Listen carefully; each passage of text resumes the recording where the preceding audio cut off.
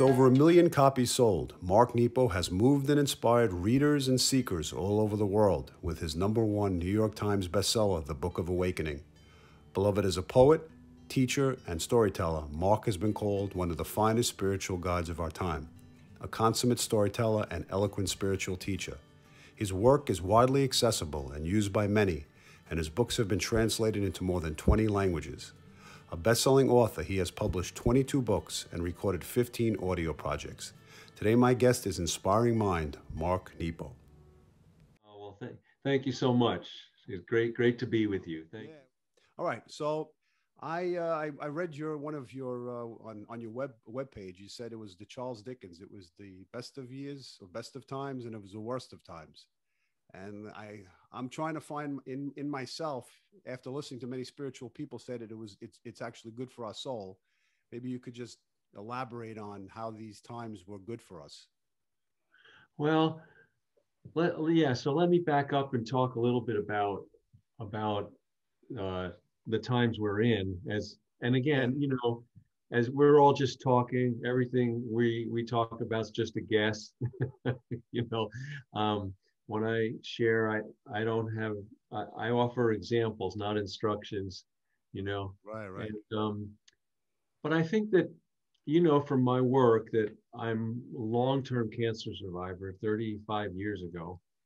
I was in my mid 30s and almost died from a rare form of lymphoma. And interestingly, when all of the pandemic started happening, um, I was very struck. It, it was bringing stuff up, you know, not just because it was, a, uh, you know, an illness, but the way that it all came to the world, which I think, you know, I want to share this speaks to um, what is throwing us all into. And, you know, years ago when I first got diagnosed, I went, I had a huge tumor on my skull. And I went to a doctor and uh, went to an appointment. And, you know, life changed. Like when that appointment was over, when I went to leave that building, the door I had come through to keep that appointment was gone. There was no way back to life before that appointment. Right. And I feel like what the pandemic has done when it showed up over a year ago, it did that to the entire uh, humanity. The old world's gone. Right. There's no going back. And, and so, you know, one of the difficult things about that is it engenders loss and grief. And you can see that, you know, I've, I don't know if you've run, ever run across uh, Elisabeth Kubler-Ross's work. She, she was, uh, yeah, and you know, she was the the mother of the modern hospice movement, and um, and in the 70s, and she noticed that there were these stages of grief not sequential, but stages of grief that people bounce around in when they experience deep loss. And they are denial, anger, bartering, depression, and acceptance. And if you look at our society, I mean, I know when the pandemic first hit, I went through a bunch of those. You know, I'm yeah. a teacher, I go all over and and you know, I haven't traveled in over a year, you know. Um, but when you look at our society, there are a whole pockets still of our society that are stuck in these phases. There's a whole pocket of our of our country that's stuck in denial. Oh, there's no pandemic. No, it's not. You know what? How can you say? How can that be? You look at all the people who are suffering. Look at what's happening. There's a whole group of of our society that are stuck in anger. Right. Would you would you say that this particular situation has brought people to to their original wound? Yeah, I think that's a good way of saying it. Sure, it, it touches that, brings it up, and then you know, but we are all challenged. We're all challenged to face what life brings us. You know, because every person is given a chance to be dropped into the depth of life. And that's where the journey begins. And it doesn't always have to be difficult things that open us, it can be wonderful things. But right now, I think that the world has been thrown into like a, global Sabbath. You know, the word Sabbath in Jewish tradition means literally one day we don't turn one thing into another. You just stop, stop. You don't, you don't manipulate it. You don't bend it. You don't reframe it. You know, you know, right. and and the whole world has been forced in this last year to stop, to stop, and that, that that's a challenge in itself. But but I know from what I went through all those years ago that what what opens us is never as important as what is opened in us. Right. Like a tornado can come through and clear a field, but it's it's the field that's cleared that was what matters, right. not the tornado.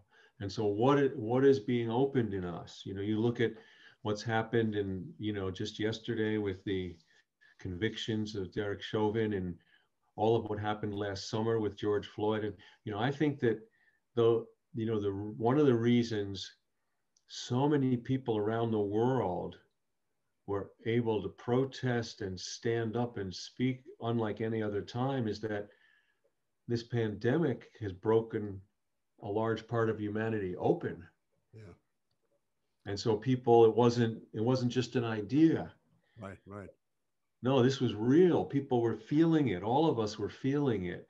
Um, and you know that so so I think that you know we're being asked to move forward and we need each other to move forward. So, you know, are these times good for us or bad for us? Well, I'd rather say that um, they're real and we have the chance to be authentic with each other, which every generation has. I, I, I kind of find that for, for me personally, that as I try to progress on the spiritual wheel, or I, I know it's not a linear uh, pathway, um, and I know that I've gone around in circles, and it's kind of brought me back to the initial place that I began. Uh, and in that place of beginning for me, it's almost made me depressed because I not that I didn't think I progressed, but it's brought me to question things and to actually have more um, insight into my own development and what to trust and what not to trust, as I said earlier. Yeah. And, in, in terms of in terms of your life itself, from from a person from your perspective, having the insight that you do in the poetic mind, how did what what insight do you gain from this experience from this this time these times? Well, I I think that you know it leads me into a place of, of opening the heart even deeper. So, you know, as I get, as I get older, um, I find I feel more than one thing at the same time.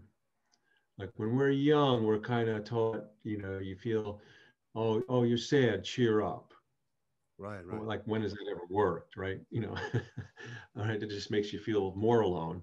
Right. But I can actually feel you know, sad and happy at the same time, clear and confused at the same time. So what I've been been moved to is that there's a depth experience. The deep, the more real we are, the deeper we go, and the deeper we go, the more we the more we truly feel each other. And and so I feel like, you know, every every generation has a chance to be cruel or kind and um, and I think things like this allow us to really show up for each other, you know, to drop the pretense and drop posturing and just help each other. Yeah. And so, yeah. yeah. And so I find, and, and I would also say, like you were saying, like one of the things, like, you know, often I know in my life, it might seem like I'm circling, but it's more like a spiral it's covering the same ground, but it keeps going. Correct. Yeah. And yeah, yeah, that's a difference. That's a difference because we're we're always, um, you know, it's like in I my parents are now gone. I had a real difficult, never really, my mother and I never really kind of got were connected in a really clear, good way. And so, you know, I've worked for years on that relationship. Right. So you know, it's still even when she's gone, it still comes back, and and I say, you know, and at first when I, I'm always surprised, I shouldn't be, and then I go, I, I don't need to work on this. I, I don't want this anymore. I'm tired of this. Right. Yeah, but it's not done with me. I understand. Not done with me. And it's asking me, yeah, but you got to look at this in another way. You got to look at this. So you, it looks like you're circling, but you're actually spiraling, continuing. And, you know, one of the reasons I've learned about, you know, often people, especially older people, uh, you know, tend to repeat themselves and tell stories and over and over. And, but it's not just I, have come to feel it's not just about because of lack of memory or forgetting things.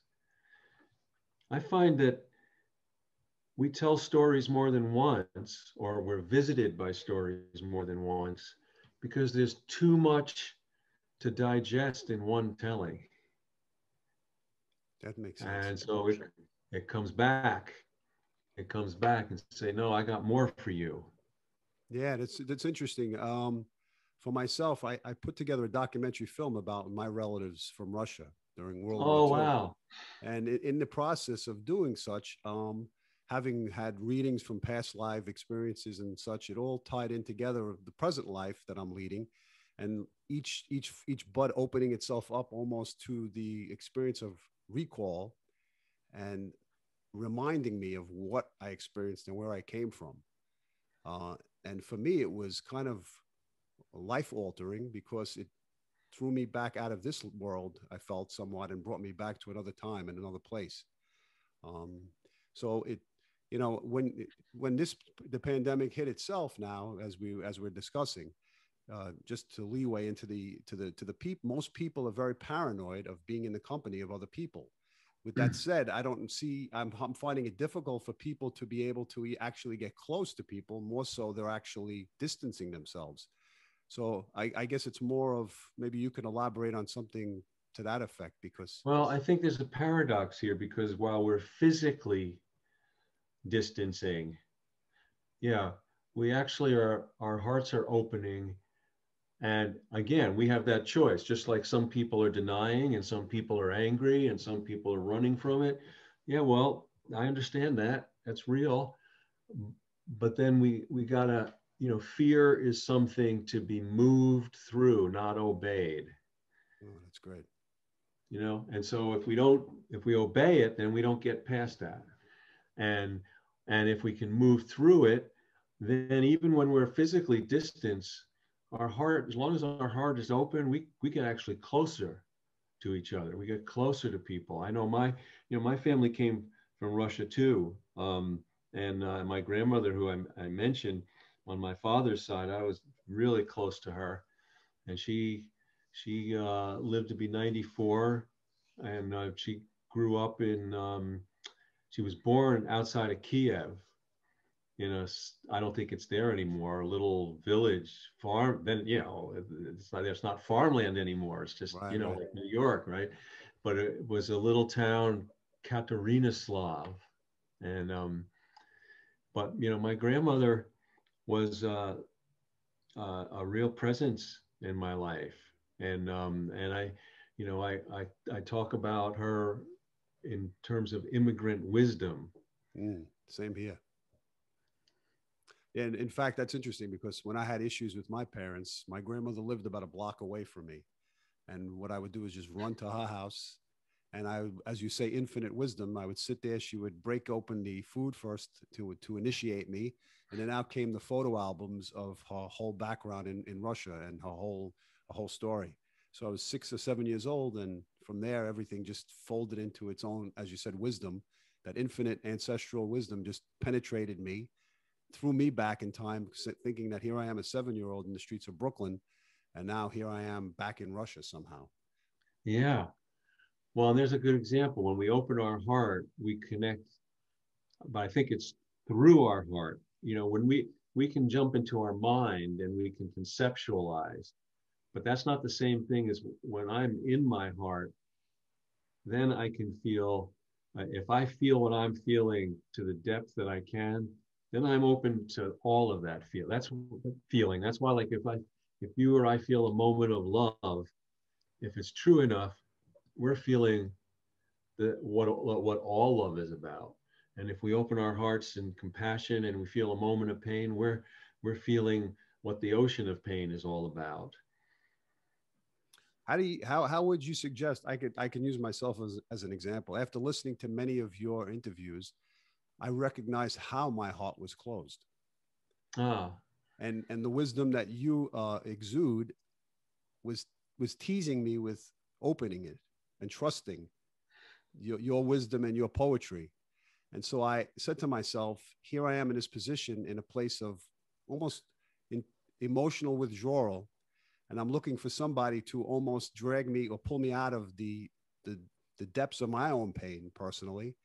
And how would you, how do you, how would you speak to the, to the audience and to, in general, of opening your heart in these times? What's, what's the steps?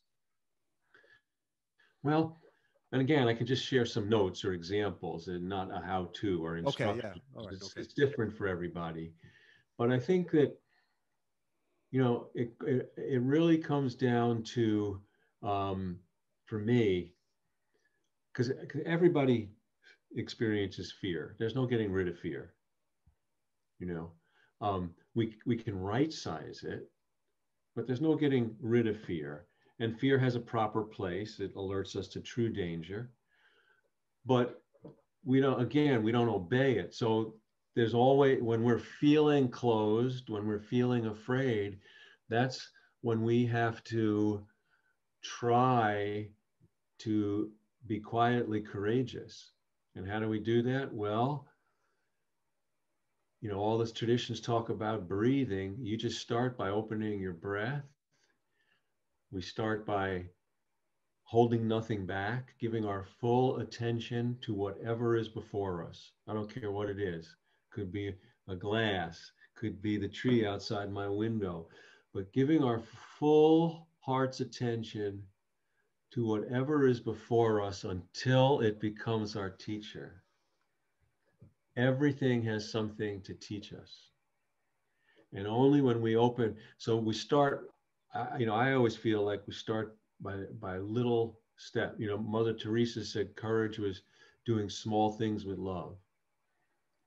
Okay. You know, you start by, and I ha- I have a a friend who's a he's an amazing uh, peacemaker. You know, he works with governments and does an amazing guy. And he has this little saying of his. He said, you know, don't ask the mountain to move. Take a pebble each time you visit. Take a little piece of it. Yeah, yeah, excellent. Yeah, a step at a time, a step at a time. And and so this is a this is also I'll share. This is a custom uh, that is actually comes uh, uh, from Brazil in in the in the, the native people, not not you know the ancient people there, and it's known as uh, there's a Portuguese word because they speak port. It's like kind of Portuguese there. Uh, it's called Edai, E D A I. And what it means is, and so. And so what they do, this is an, I love these things. This is an ancient, an ancient, like you said, well, how do you start? Well, if you have a problem, you have something that's big that's happened in your life, then you go to an elder or a family member or a friend. And the custom is this you sit down, and I would, you would say to me, you would tell me what happened. Right. And I would just listen.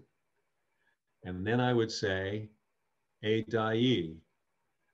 And so, and the first saying of that is offered in a big, big, big way. Like, okay, and so in the in the perspective of your whole life,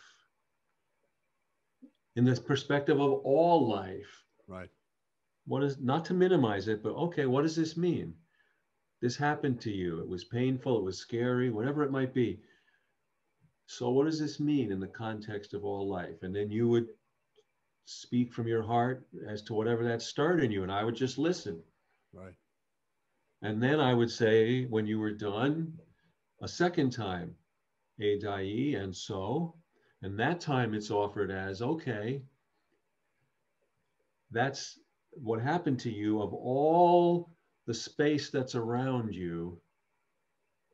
Where is the next space of solid ground? Yeah. Look around you. And so, what's the next space of solid ground? And you would look around and go, well, you know, if it's relational, it's not safe to go here. It's, well, I can go to my grandmother's. That's solid ground. That's interesting. There's one more. Go ahead. So then you would you would talk about that, and then I one final time I would say a dai and so, and the last one is and so. What's your next step? So that that's a that you know that's an anonymous wisdom that's come down through these people in South America that are taught. That's that's fantastic. Yeah, that's fantastic. So and so, what what is what does this mean in the context of all of life? Wow, wow. Then and so what? Where's where's the next step of solid ground that's nearest you? And then what's your next step? Well, it, listening to what you're saying is like like a mother figure, almost supporting supporting a like a false ego, an ego built on pain, and looking for self-centeredness and like a narcissistic archetype. And, and in fact, using that actually eased my mind. Just hearing that, it actually minimized the the self-centeredness of what a person would focus in on. So I actually felt that and and and it's interesting I, as i as i as i listen to your wisdom and your poetry um, and the and the insight that you have uh, it, it teaches us that um, the the ego needs to be slightly or petted in order for it the soul to just rise and now in, in, in innate well yeah well often let, let, let's talk for a moment about about self and ego you know, because there's there's a and and let me use the image of of the ocean and a boat because all the self is like you know we're we we we each carry a portion of universal spirit. We call it in the West we call it the soul. In the East they call it Dharma nature or Atma. And there's a thousand names, right? But we carry this thing in us, this spirit. Well, you can't, but it's in a body, right? You, you can't be here. You need something to hold it to walk in the world. And what a self is, it's like, you know, you could swim, you could try to swim across the ocean, but you're not going to really make it. you, every per every spirit, every soul needs a boat to cross the ocean of life.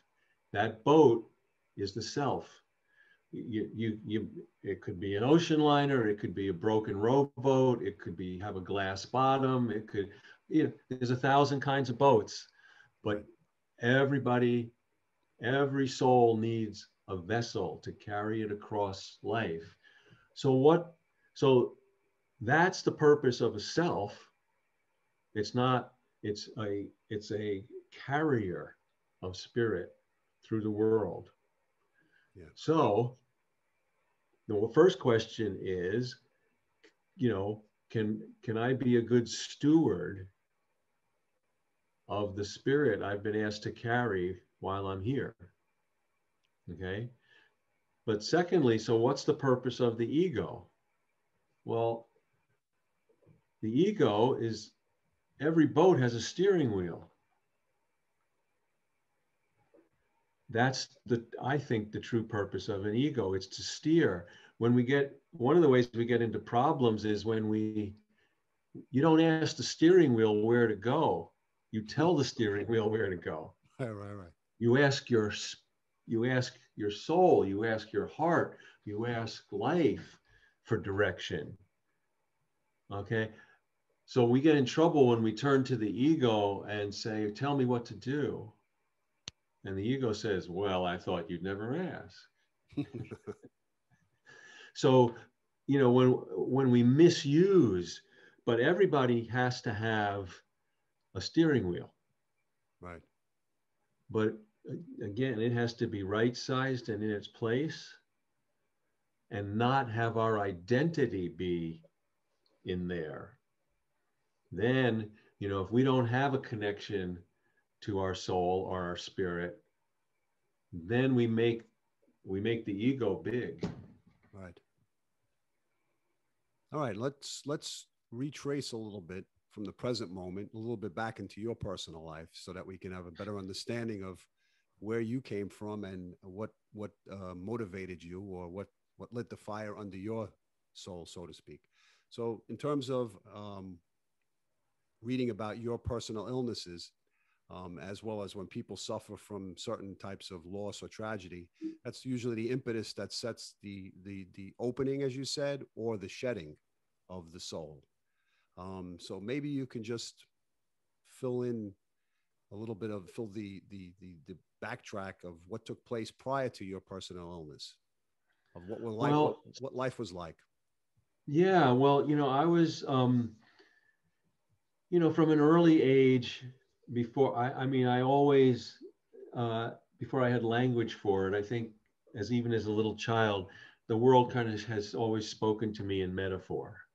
I didn't even know what that was, and and you know, as I and I come from a family of teachers, and and I think that's that part of my family heritage. I've always I've always connected with. I, am a lifelong teacher, and so I wanted to be a teacher. But I, you know, I knew I was a poet, and I wanted to, you know, write and teach. And so I was in, you know, uh, I was I had gotten my doctorate at SUNY Albany, upstate in Albany. I was living in Albany. I was teaching there, and and and you know I was feeling like, gee, if I in in a good way, you know, a sincere way, like if maybe if I work hard enough maybe, maybe I might someday write one or two great poems, you know, and maybe I, you know, someone, I, someone would th- really think I was a poet, you know.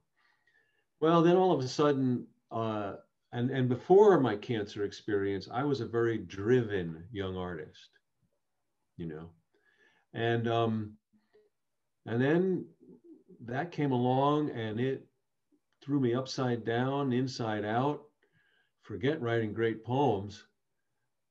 I needed to discover true poems that would help me live. Mm. Everything changed. Everything changed. Forget achieving anything. I just wanted to be here. Right, right. I just wanted to stay here. And then suddenly, you know, my, and also during that time, you know, before that experience, um, oh, you know, I, I'd had heartache and I'd, you know, broken a finger or that, but I'd never been through anything that serious. Right. So I really, so all of a sudden I was, I was thrown into big time fear and pain. You know, pain like I'd never known, uh, fear like I'd never known. I was terrified of everything. And I had to go, because what I had was a rare form of lymphoma, Right. I had to go through all kinds of tests and procedures and open biopsies and things where they I had to be awake in case they needed to give me general anesthetic. And so, you know, it was like um, it was like my initiation. Mm. And so, you know, one of the first things I learned was um, not through any wisdom on my part, but I exhausted my heart. I I couldn't keep up being afraid of everything. So, you know, Hippocrates, who the Greek physician who is the Hippocratic oath is came from him. But one of the things he said was that uh, uh, pleasure is the absence of pain. Right, right. And peace is the absence of fear. And so I, you know, I couldn't keep it up. Like every time a, I, a doctor would come in the room or a nurse, I'd be, you know, before they even did anything, I would be on a scale of one to 10, I'd be 14. Right, right, right. And so finally, I, you know, I just had to say, you know, I have to make discernments. I, I have to start saying, so if somebody is going to give me a take, take blood, oh, well, I don't like, I don't want it, I don't like it, but is it really a 14? No, maybe it's a four. So it's not pleasant, but I can get through it. So I had to start making discernments about what's what because we tend as human beings both in good ways and bad difficult ways we tend to inflate or deflate right our experience and who we are. And one of the great ongoing uh, practices that comes from the buddhist worldview is the practice of seeing things as they are. How do we come back and see things as they are? Because then we have real choices. Once I could start right sizing it, then I said, oh, okay, this is a four. I need to bring, I need to match that in order to get through it. I don't need to have it be a 14 alarm fire all the time. Right.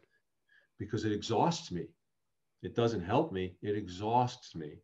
So, you know, so moving through all that, one of, you know, on the other side of my my cancer journey, uh, two um, kind of big things happened to me. And one was um,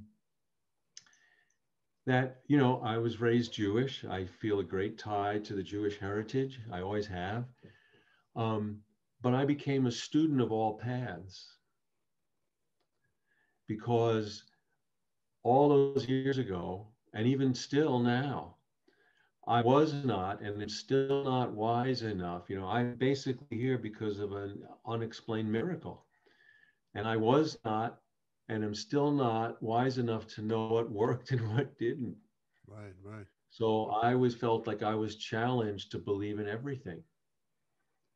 Hmm. And all my, and so I have ever since then, you know, all my books, all my teaching, all my work, I feel committed to reveal a common center of all paths, to lift up the unique gifts of each.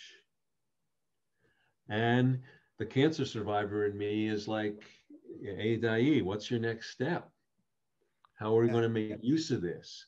So, so that made me a student of all paths. And the other thing that happened to me on the other side, and again, not through any wisdom on my part, was that everything dropped from my head into my heart, like snow melting in the ground. And ever since then, my mind has served my heart and not the other way around. Is is that when the fear dissipated or lessened? How did that how did that transformation take place from your your heart, your head to your heart? Well, I don't I'm not really sure I can pinpoint a moment or how, but it is i learned later because in the in the the lakota native american tradition there's a powerful saying i'm sure i i'm sure i've put it in one of my books it says the longest journey you will make in your life is from your head to your heart wow the longest journey you will make in your life is from your head to your heart and, and not because we're stupid not because we're because it takes time well, it, it takes. T- yeah, it took time, but it also took you to go through um, an opening, a deep opening. Yeah.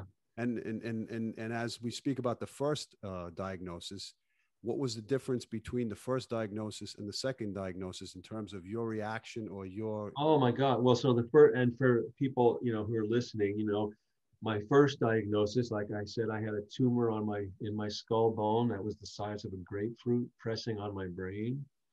Um, and that was a miracle that was that vanished. Um, and then eight or nine months later, there that was so dramatic that a sister tumor was growing on my rib in my back. And so I was, you know, after the, the tumor in my brain disappeared, I was thrown spit like Jonah out of the mouth of the whale back into life. But, you know, back into life like, okay, who am I now? like what do i what do i do now everything's changed and and then eight or nine months later uh-oh uh-oh it's growing. I can feel a lump in my back. And that there was you know that the miracle you know this is another thing that i learned. Miracle is a process not an event. So that mm-hmm. that i had to go i had to go and have a thoracic surgeon remove that rib and the adjacent muscles.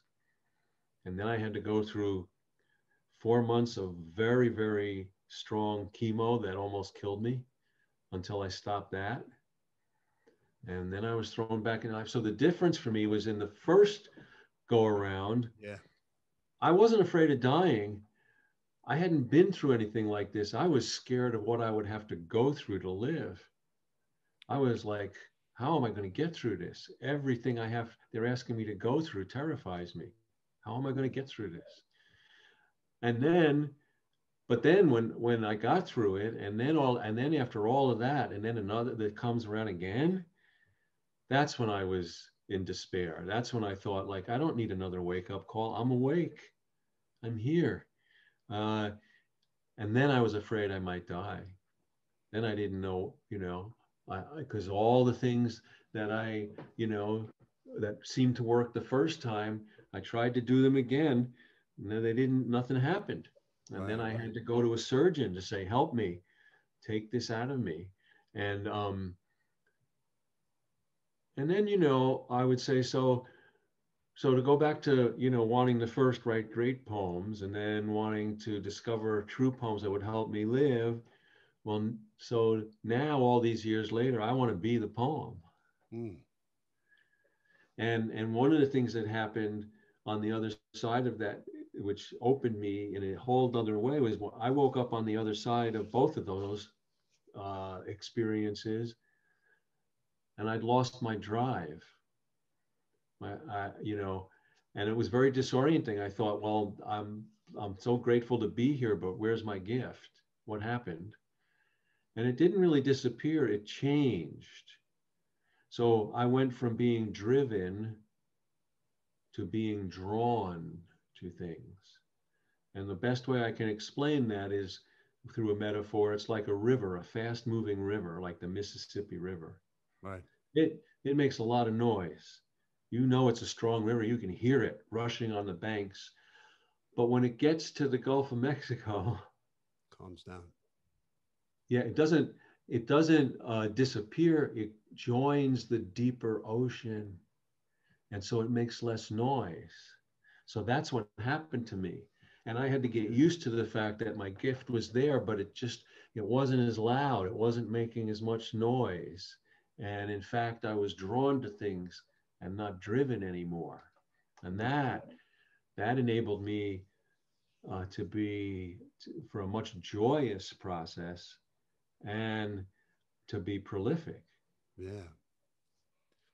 It's interesting. Um, this the going through some type of physical setback was a blow to ego, I assume. Um, I, I know from from personal experience, um, it's not so much the, as you said, the fear of dying, but more so the fear of suffering the, in the process, or actually judging ourselves in some capacity as weak and not being able to handle what we go through. Um, so when it's final, it's final. You, there's no longer that need to actually feel that testing of the ego.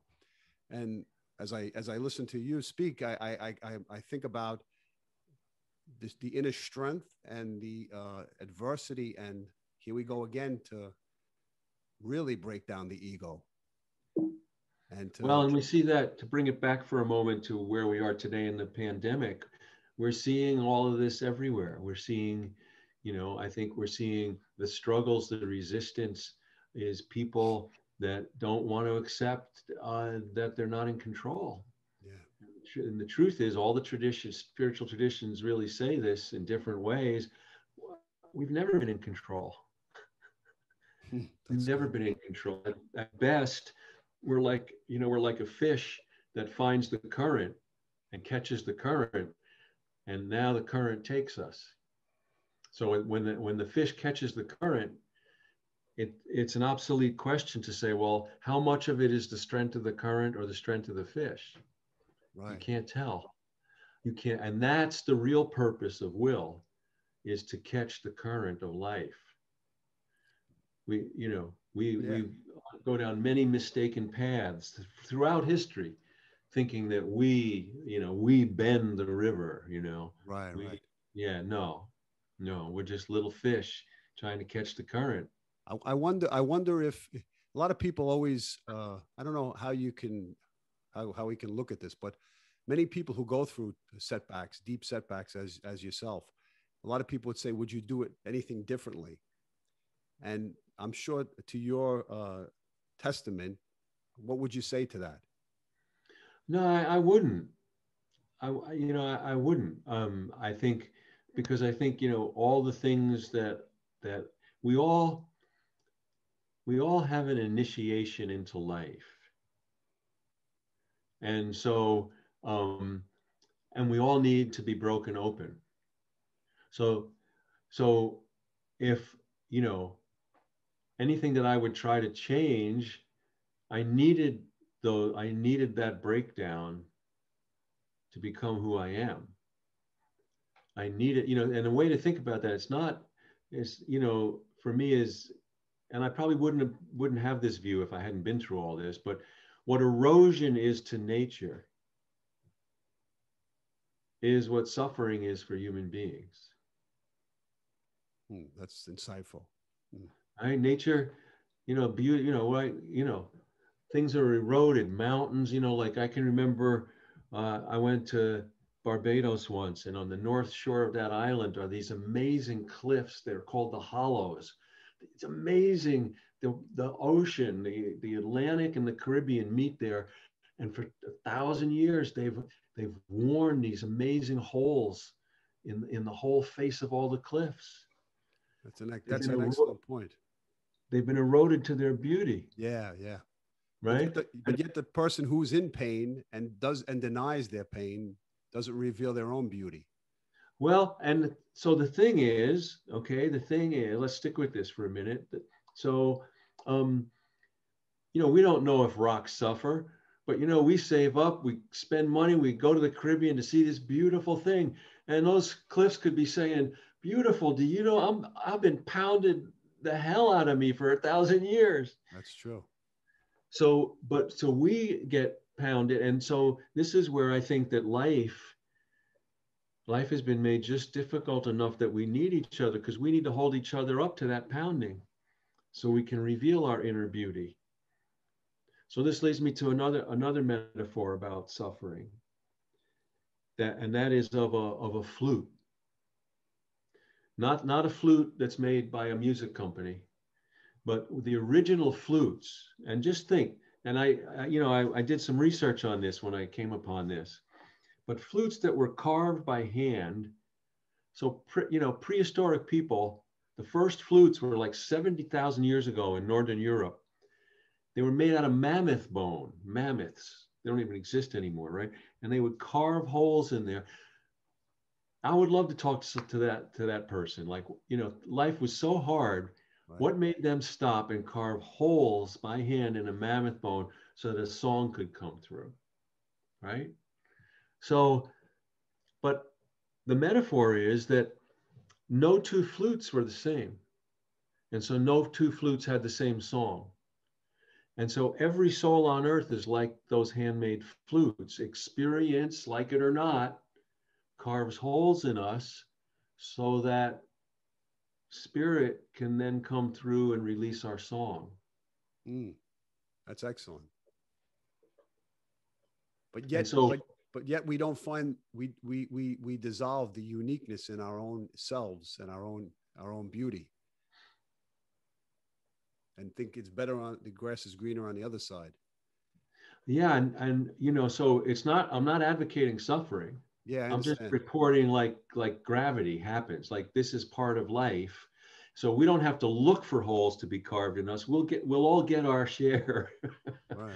We'll all get our share. But but to to give into when it when you recognize that that's happening is the worst position to be in is to be carved, but not all the way through because your song never comes out. Does, does, does, has your career offered you or given you the, the satisfaction that you initially thought it would? Or does your personal soul as a seeker keep you always seeking and oh my my you know and, and let me say that my career i always say now that the soul's awakening is our career. Well, that's excellent. Where that happens is our occupation. That can change. So I have feel blessed that uh, you know, what's happened to me on my path is more than I could have ever imagined. I ever imagine. I'm, you know, and I, I'm, I'm thrilled just to be, uh, you know, I don't, I don't, I don't have any bucket list. I don't have any five-year plan. I'm in the middle of the stream, and I just want to keep swimming there. What was what was the point in your life where you reached that pinnacle and felt you've made it, or you've you've you've reached some inner satisfaction? Well, I think that um,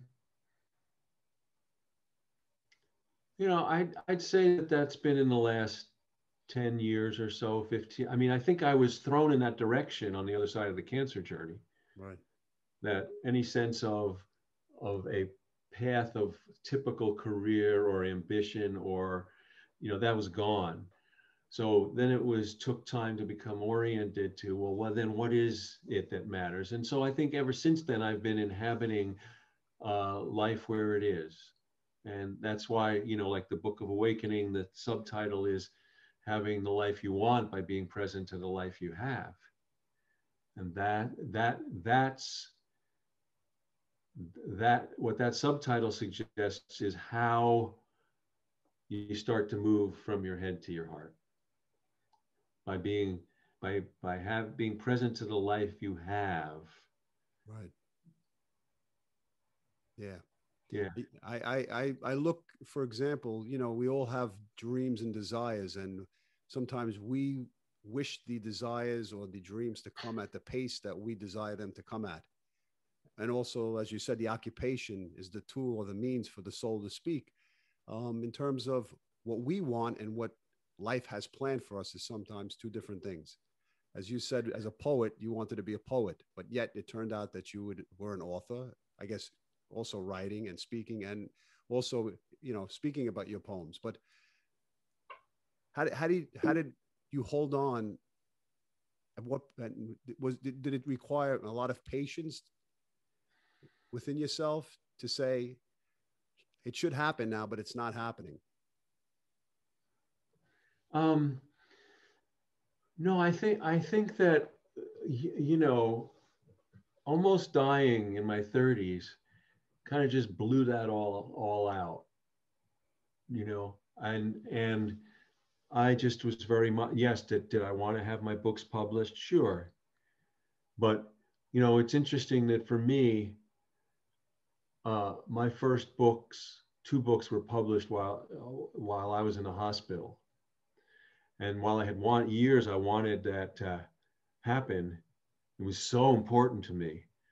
Well, when I was sitting in the hospital, I was happy that they were published, but it wasn't so important. Yeah, yeah, yeah. Yeah, it, it didn't, you know, what mattered was waking up tomorrow. And so from that point forward, you know, it had never been about so this is the thing and i think again the spiritual traditions all speak about this in different ways. We start out and we're kind of taught um, that life is going from here to there. But i've learned there is no there. You mean on a linear path? Yeah yeah from here to there. Okay. whether that's whether that's making a dream happen or working towards something or literally physically going from moving from here to there. There is no there, there's only here. And so life is really about coming from in to out, not from here to there. So to, to look at that process, let's look at let's look at flowers and flowers. So just imagine, imagine this a flower starts with a seed buried in the ground, underground, and something in it, some force in it, it starts growing toward light, which it doesn't even know what light is yet because it hasn't even seen it. And it's growing toward a force it doesn't even know what it is. It breaks ground, it starts to root and shoot it survives weather, winter, storms. And then finally, when it starts to flower, what does it do? a flower, like let's say a tulip, it literally turns itself inside out, and that's how you see its beauty. Yeah. And it does all of that without ever going anywhere. Yeah. Nature at its best. Yeah. And we at our best. Um, as you said, with the with the erosion of of a revelation. Yeah, um, I, I I was thinking because I heard an interview discussing your relationship with your father, and I myself, uh, if I recall my childhood and my desire to go to my grandmother's house to seek uh, seek comfort and and um, stability, it was easier for me to go to my grandmother and first of all initially put up with eating food and then seeing you know pictures from the 30s which eventually became my passion as i as i got older. And i and i remember i heard one of the interviews as you spoke about feeding your father on his deathbed. Um, and it moved me and it shook me because as i look now on the relationship that i had with my father and when a person reaches a certain age there's a point or something just changes or ticks and says well now he's older and all the animosity and all the anger and all the stuff, the transgressions that that that, that took place. I don't know where it goes or what takes place. Maybe it's just a natural a natural process. And I look at my father now uh, as more feeble than he was, and his dominance or uh, dominance with me is is is gone. And yeah. so I so I look at I look at it and I say to myself, is this a natural progression?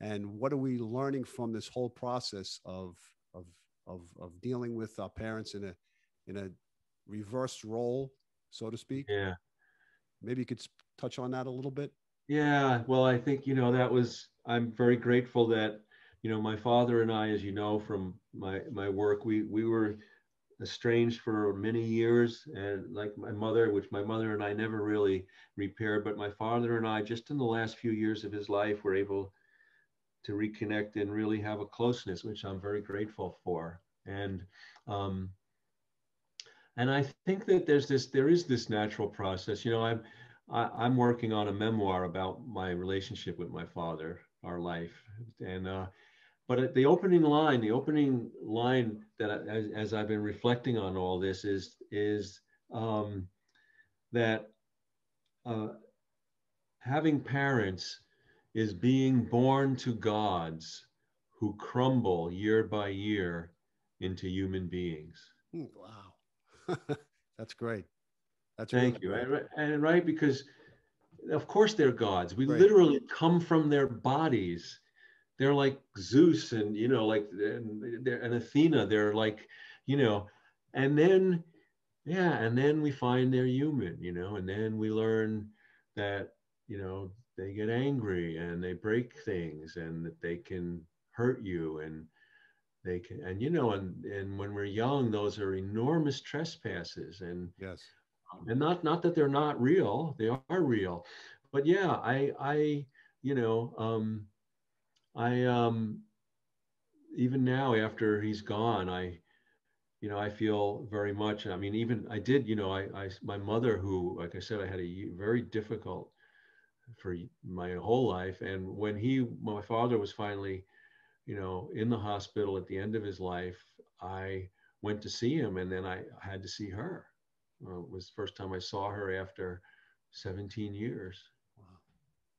And of course, as like you said, I walked in the hospital room and she's at the foot of the bed. And there's this little old woman. Know, this frail little old woman. Not that everything that had happened between us wasn't real, wasn't huge, wasn't big. We still had all of our problems. But, you know, in my mind or in my heart, she was huge. She was this forbidding, huge presence. There's this tiny little woman who still, you know, she still was who she was. She still had her inability to listen. She still had her harshness and uh, insensitivity. But you know, she went from this, uh, uh, I had this image of, she went from this all encompassing, really powerful figure to being like this like you know if you chew on a piece of fish and you hit a bone and it was like oh wait a minute. What's the what's this thing and yeah. Yeah.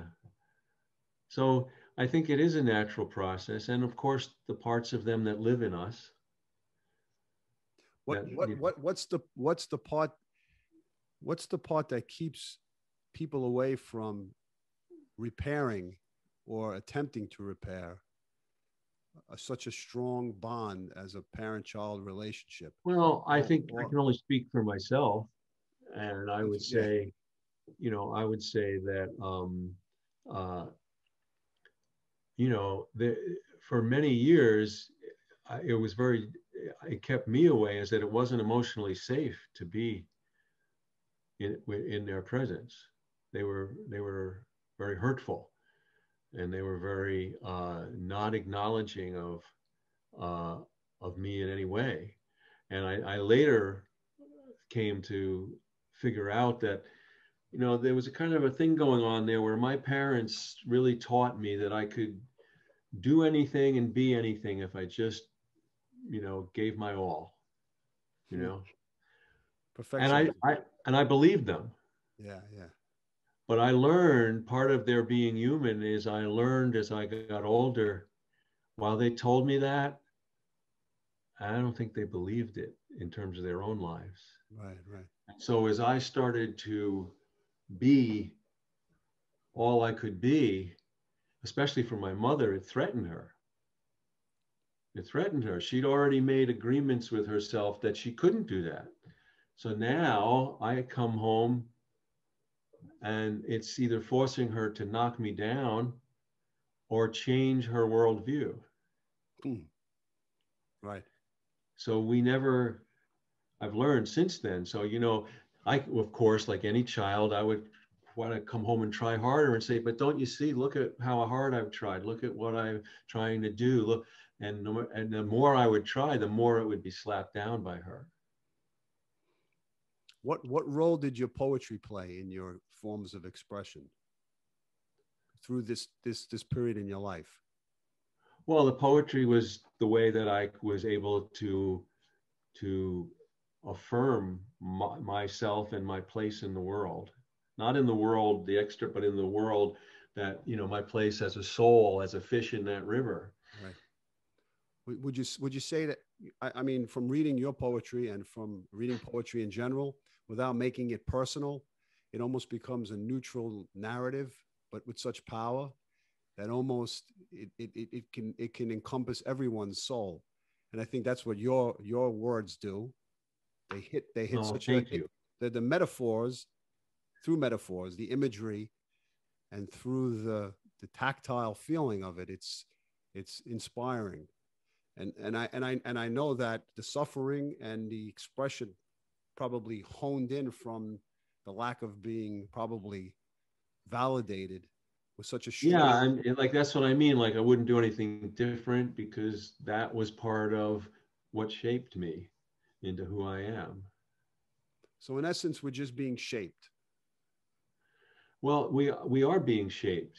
We if are we being allow it if we allow it yeah if we resist it uh, we increase our suffering. Did you did you resist yourself suffer did you increase your resistance during the time when you were getting sick? No i don't think i, I mean only by until i started uh, letting the fear go through you know only when i was afraid of everything was i uh, to such an extreme degree was i increasing my suffering. And then you know from from there um, i was just you know getting through it. Let's just let's talk about the last thing is authenticity. In terms of how our authentic selves help us on this path in life. Well, I feel that um, be, being authentic, and let's go back, the word authentic comes from the Greek, authentes, and it means the mark of the hands. Okay. So being authentic is an expression of real integrity, like what starts in the heart comes out of the hands. You, we are, you know, we do what we say. We, if we care, we, you know, and this is what, what I feel that being authentic is like we, we learn to open our eyes in order to see. Okay. If you don't see when you open your eyes, what's the point of opening your eyes? And we we learn to open our heart in order to love. If we don't love once our heart is open, then what's the, why did we open our heart in the first place? So authentic has to do authenticity, and then in our own lives, I feel um, just unto ourselves. I feel that the life of our feelings is the language of how the soul, uh, how we find our place as a soul in the world.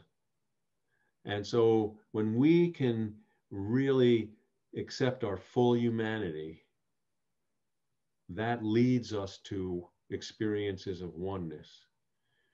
And it's our authenticity that makes that possible. If we resist it, um, we become more isolated. We lose our kin, you know, this, and, and that goes with ourselves and with others. You know, the word kindness and the word kinship have the same root, kin. Kinda. Yeah, and if we, if we, uh, so one of the rewards for kindness certainly is if it's between people, it strengthens our relationship. But a reward for kindness also is that we experience our kinship with all things when we're kind. The, the your your most recent book, uh, the Book of the Soul, the Fifty Two Paths to Live to Living What Matters. Just fill in the audience a little bit about that. You wrote that in I think June of 2020. Yeah, yeah, that came out last year, and I, you know, of course, I didn't know it was going to come out at that time or finish it then. Um, but you know that that's a book that really explores a lot of what we're talking about after all these years. Um, and I offered 52 paths not as a sequence, but like the way you throw seeds out in a garden. You don't know which ones are going to come up and which ones won't. Right. So we want to offer as many as possible. And so I tried to do it so that there would be one a week because I always invite my readers to take their time reading my books.